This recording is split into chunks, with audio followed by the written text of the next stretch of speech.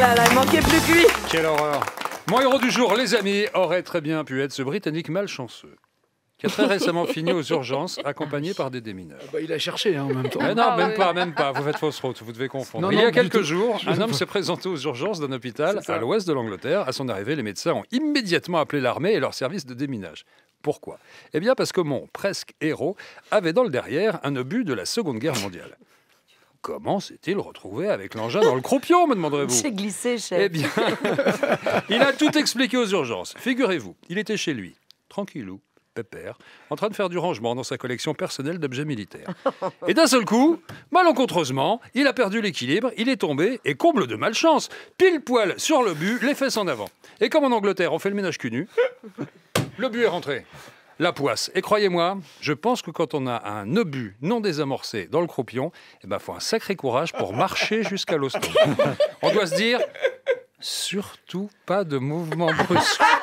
On ne sautille pas, On n'éternue pas.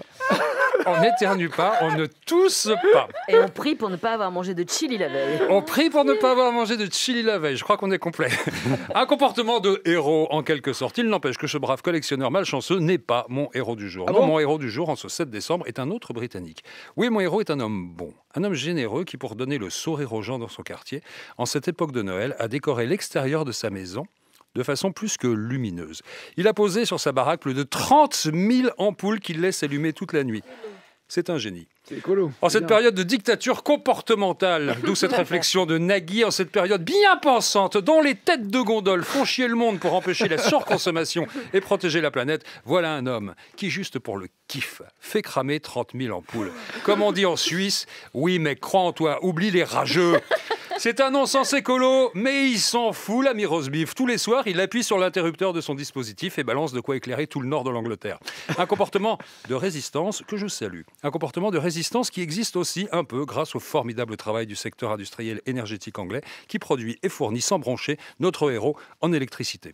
C'est pour ça que j'en appelle solennellement. A également félicité Mais non. Monsieur le secrétaire d'État britannique chargé de l'énergie, je vous félicite. Grâce à l'excellence de vos services, un homme qui n'est peut-être pas un exemple d'économie, mais un humanisme convaincu, humaniste, peut apporter du réconfort à ses proches et grâce à vous. Alors oui, si tout le monde faisait comme lui, beaucoup d'espèces vivantes disparaîtraient très vite dans le monde, mais tant d'Anglais auraient le sourire. Et ça, le sourire des Anglais, ça vaut bien quelques extinctions animales. Merci Daniel.